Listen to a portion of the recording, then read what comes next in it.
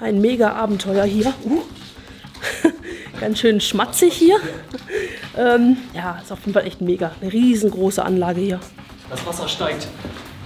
Das Wasser steigt. Wir müssen raus hier. Los, komm. Die Welle kommt. Raus hier. So, hi und willkommen zu einem neuen Video auf unserem Kanal. Ja, Leute, heute bin ich hier hier ohne Anja unterwegs. Denn äh, Anja und Luca warten im Auto. Und ich bin unterwegs heute mit, mit Stefan. Moin Moin, Servus und Grüß Gott. Ja, und wir erforschen gerade zusammen hier eine ja, riesengroße unterirdische Anlage.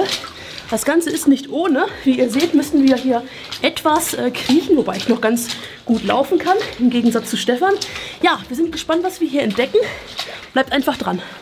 So wie, Ich kann stehen. ja, so wie so, da kommt halt nicht so ein kleiner Gartenzwerg. Hey, sag mal. Hi ho, hi ho. Nur meine Haare hier, also ein bisschen so. Ich kann bequem stehen. Ich weiß gar nicht, was du hast. Lass weitergehen. Ja, der, der Stefan hat heute seinen ähm, Glow-Pulli quasi an. Ich hatte gerade zu ihm draußen gesagt, mach mal die Jacke zu. Sag ich mal, ja, sieht man, richtig am Leuchten. Ne?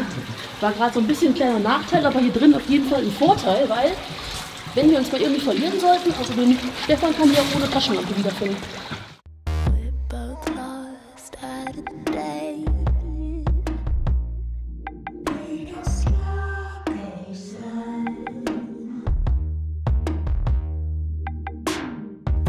Oh Leute, also draußen war es wirklich richtig kalt gewesen.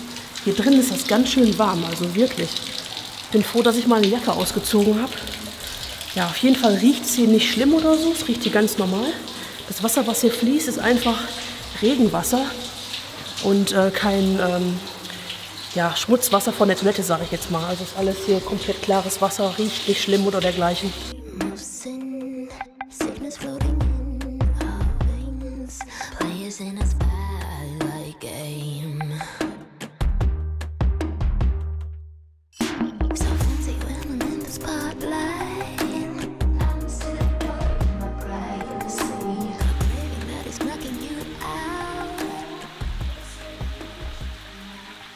Schaut euch einfach mal an, wie endlos hier dieser Gang ist. Einfach quasi ins Schwarze laufen wir hier.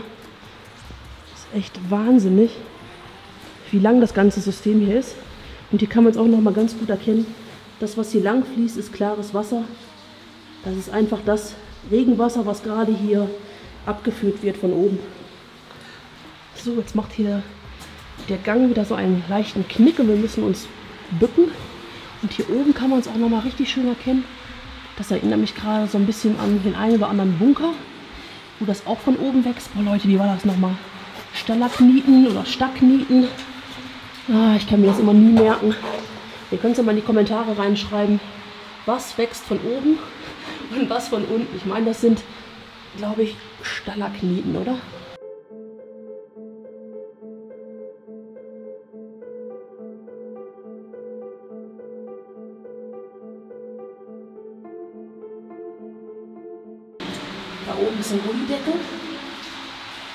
Der sieht schon so ein bisschen aus, wenn der nicht mehr allzu oft hochgehoben wird.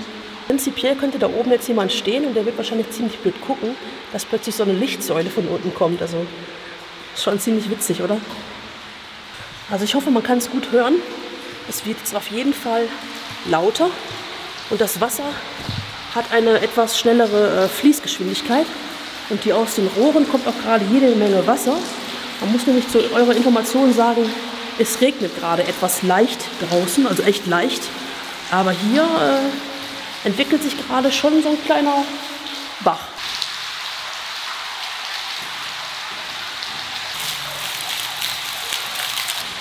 Ja, ich muss mal dazu sagen, wir hatten heute eigentlich echt ein bisschen Pech gehabt.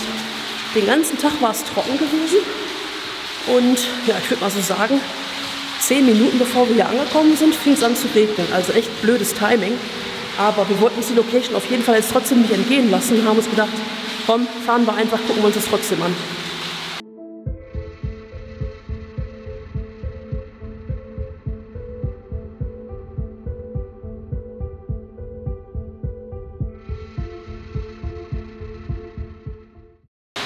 Ach Leute, ich bin echt beruhigt. Ich bin nicht die einzige Person, die keine Ahnung mit Sta- Stalagniten und Stagniten hat. Stefan macht auch gerade dazu noch ein Thema in seinem Video und ist genauso planlos wie ich. Also von daher, Ja, ich. Ja. Aber ich glaube, Stalagniten sind, glaube ich, oben. ich weiß es nicht. Ich kann es mir einfach Wegen echt Stall. Stalagniten. Stall? Heißt es denn Nieten oder Lieten? Oder? Ja, weiß ich nicht. Nieten? Nee, Nieten sind die man für Autokosse. Äh, Ja. Also wie gesagt, wer es weiß, schreibt bitte in die Kommentare. Wir beide sind einfach äh, planlos. Aber Aber planlos geht unser Plan los, ne? Oder wie ist das, ne? Planlos geht der Plan los, ne? ja. So Leute, habt ihr eigentlich unser Video damals vom Honigbunker gesehen? Also mich erinnert das Ganze hier auf jeden Fall sehr stark daran. Ähm, damals gab es auch diese Salzablagerung von der Decke, die hing da auch überall wie so Tropfen. Das sah so mega aus. Also mich erinnert das Ganze auf jeden Fall sehr stark gerade an äh, das Abenteuer, was wir damals erlebt haben da.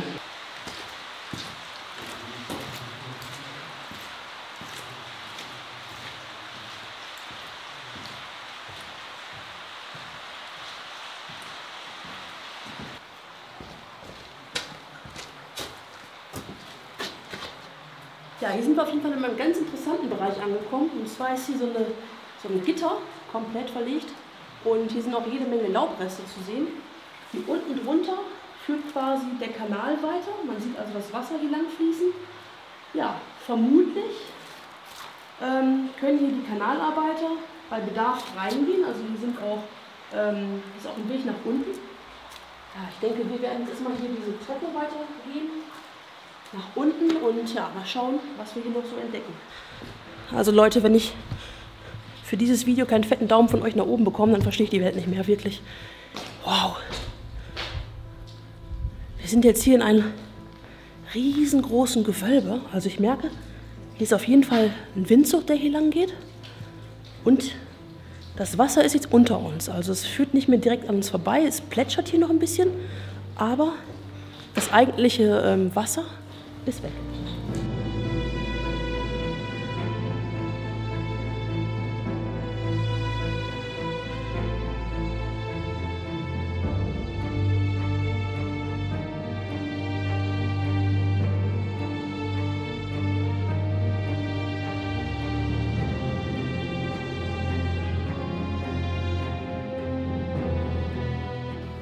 Das sieht hier so aus, als wenn wir so eine Art Gewölbekeller jetzt wären. Also richtig, richtig groß. Hier ist offenbar ein Teil schon verschüttet worden. Also da hinten sieht es so aus, als wenn da auch noch ja, ein Weg weiterging. Aber der ist komplett zu. Und schaut mal hier, wie extrem hoch die Decke ist. Also ich würde mal vermuten, dass das alles hier früher für etwas anderes genutzt wurde. Sagt nur die Frage, was, ne? Schaut euch das mal an, wie, wie hoch das ist.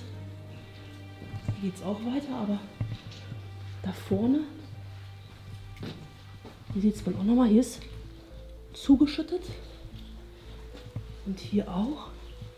Wobei, es sieht so aus, als wenn es da hinten noch, noch weitergehen würde. Könnt ihr mal schauen? Boah, Leute. Es geht da hinten noch weiter. Ja, bis da hinten hin geht's noch. Und da hinten ist aber auch dann der Zugang. Sieht aus, als wenn da so ein Weg wäre, nach oben vielleicht. Aber der ist zugeschüttet. Da geht es auf jeden Fall nicht weiter. Aber hier sind so viele Abgabelungen, die man gehen kann. Das ist ein riesengroßer, ähm, riesengroßes Gewölbekeller quasi.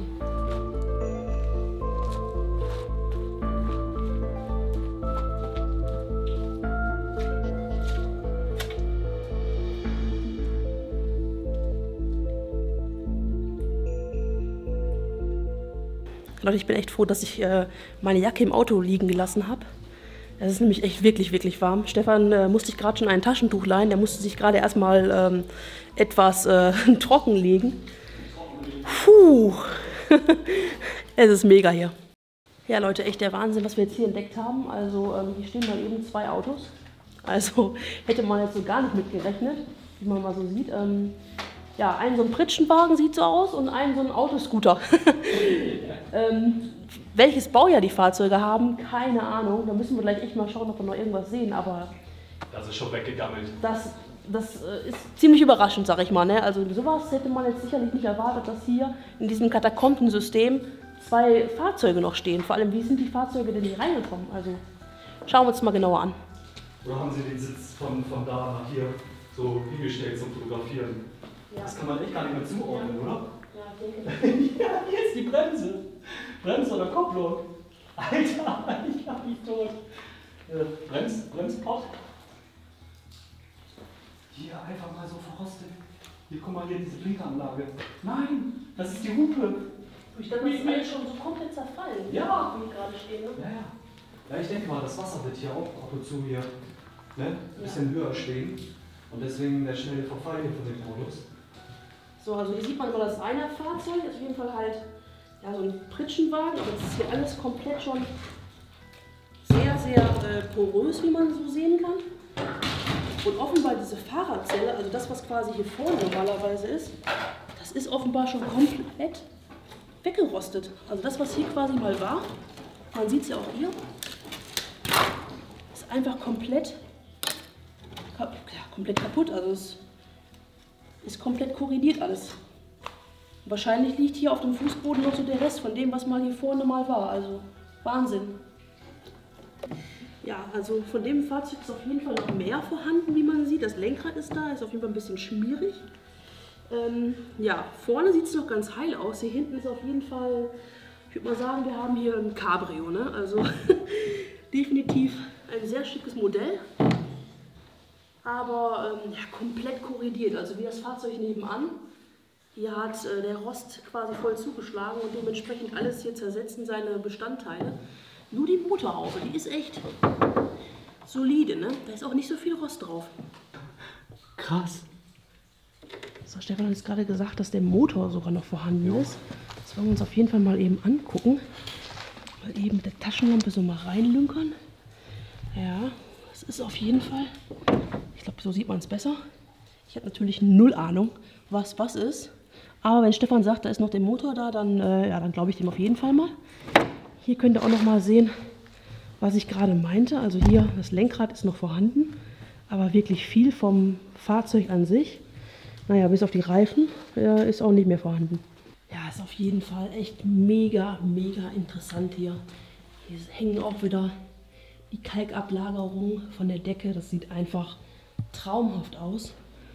Und einfach diese riesengroßen Gänge. Schaut euch das mal an. Ist eine Deckenhöhe, ich würde mal schätzen, von, ja, weiß ich nicht, 10 Meter, also locker. Und hier ist zugemauert worden. Was ich jetzt nur ein bisschen eigenartig finde, ist die Tatsache, schaut mal hier oben. Da oben ist äh, so eine Vorrichtung für Neonlampen. Ne? Also offenbar war das Ganze hier beleuchtet, was ja eventuell darauf schließen lässt, dass dieser ganze Bereich hier, wo wir gerade stehen, vielleicht gar nicht Teil der Kanalisation ist, sondern vielleicht war das ja hier so eine Art Luftschutzeinrichtung. Das würde nämlich erklären, warum es hier Strom gab und warum hier Neonlampen oben hängen. Hier sieht man auch noch mal Kabel von der Decke. Und das würde auf jeden Fall Sinn machen. Ich denke, hier kann man auch noch mal ganz gut die Größendimensionen sehen. Ähm, der Stefan ist ja nicht gerade klein, ne? Ja so Zwei Meter. 2 Meter, 20, ne? Nein, 1,90 Meter. 90. 1,90 Meter. So, und jetzt schaut mal einfach mal nach oben, dann könnt ihr halt die Deckenhöhe sehen. Das ist echt gigantisch. Also, wie gesagt, ich würde mal echt schätzen, ja gut, mit 10 Metern bin ich vielleicht doch ein bisschen daneben, aber 5 Meter. ja, also 5, 6 Meter. habe ich mich ja quasi nur um die Hälfte verschätzt, Leute. Ich dachte vorhin 10, aber naja. Du musst mich halt rechnen. Ne? So Warte mal, stell dich mal hin. So, so fast 2 Meter. 2, Ja. 4. Ich würde mal sagen, so zweieinhalb Stefans hoch. Ja, das kommt aber hin. So. Ja, also zweieinhalb Vier, Stefans fünf Meter hoch. bestimmt. Und daran sieht man halt diese gigantischen Ausmaße von, von der Decke, die hier ist. Also ist echt richtig gigantisch. So Leute, hier ist es auf jeden Fall sehr matschig.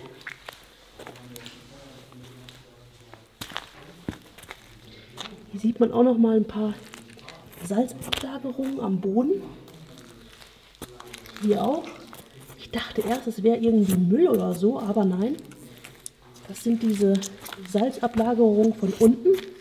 Stalagniten, Stagniten, ne? ihr wisst ja, Ich weiß es immer noch nicht und Stefan auch nicht. Wir haben auch leider keinen Handyempfang, dass wir da mal eben kurz recherchieren können. Aber so sind wir, ne? Wir sind immer top vorbereitet und gerade alle möglichen Fachbegriffe, die haben wir richtig geil drauf. Ähm, ja, sorry dafür, aber ihr wisst ja, so sind wir und das wird sich auch nicht mehr ändern.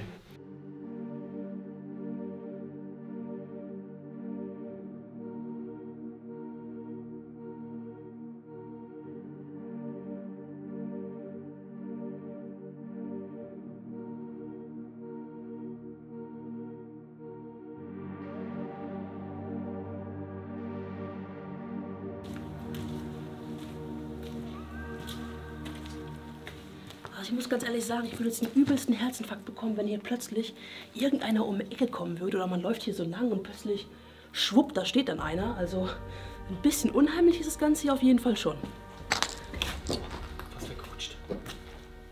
Leute, es ist echt mega verwinkelt hier. Das sieht auch alles hier wirklich gleich aus. Okay. Das äh, ist etwas anderes, als wir bislang gesehen haben. Hier so ein komischer Stuhl. Sieht so ein bisschen aus wie vom Kindergarten oder so. Noch mehr Stühle. Oh. Und das riecht hier, das riecht hier nach Gras.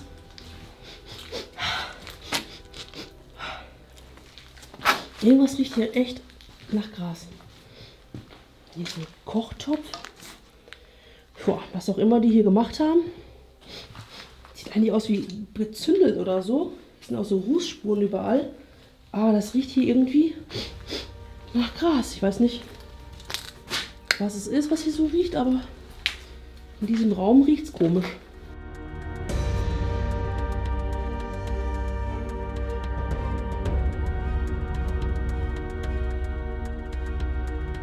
So Leute, jetzt haben wir hier gerade noch so Reifenspuren entdeckt. Ich hoffe, man sieht es eigentlich ganz gut. Ähm, ja, jetzt habe ich mich gerade echt gefragt, wie kamen jetzt hier die Reifenspuren rein? Ähm, aber es gibt noch einen zweiten Eingang, der Stefan gerade gesagt. Und da kann man wohl mit dem Fahrzeug rein. Und offenbar haben hier Bagger quasi die ganzen ähm, weiteren Zugänge verfüllt mit Erde. Ja, das könnte dann auch die Möglichkeit sein, dass die Fahrzeuge hier reinkamen. Ne? Aber ich würde mal schätzen, die sind sicher schon einige Jahrzehnte mittlerweile hier drin. Und nicht erst seit ein paar Jahren. Also hier nochmal ein Blick. Ein seitlicher Blick auf die Fahrzeuge, die hier stehen. Wahrscheinlich auch noch in 20, 30 Jahren stehen werden. Aber man kann jetzt hier wirklich nicht mehr irgendwie erkennen, was für ein Baujahr das mal war. Also wer sich mit Fahrzeugen auskennt und einen Tipp hat, kann es ja gerne mal in die Kommentare reinschreiben. Aber wir konnten da jetzt echt nichts mehr erkennen, was irgendwie auf ein Baujahr hinweist oder vor allem auf was für eine Fabrik, also was für eine Marke das überhaupt war. Also keine Ahnung. Ein mega Abenteuer hier. Uh. Ganz schön schmatzig hier. Ähm, ja, ist auf jeden Fall echt mega. Eine riesengroße Anlage hier. Jetzt hat Stefan mir auch gerade nochmal den anderen Ausgang oder Eingang gezeigt. Also hier passen auf jeden Fall locker flockig Fahrzeuge rein. Und das wird dann halt der Weg gewesen sein, den die halt mal gemacht haben, ne? vor vielen, vielen Jahrzehnten. Ja, mega, mega Location.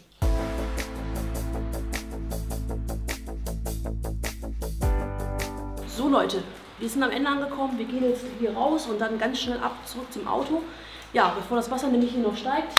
Wir hoffen, das Video hat euch gefallen. Wenn dem so ist, gebt den Daumen nach oben. Hinterlasst auf jeden Fall weiter unten noch einen Kommentar und ein Abo, falls ihr neu seid. Schaut auch bei Stefan vorbei. Let's Urbex in der Videobeschreibung verlinkt. Und dann sehen wir uns beim nächsten Mal. Und bis dahin, ciao.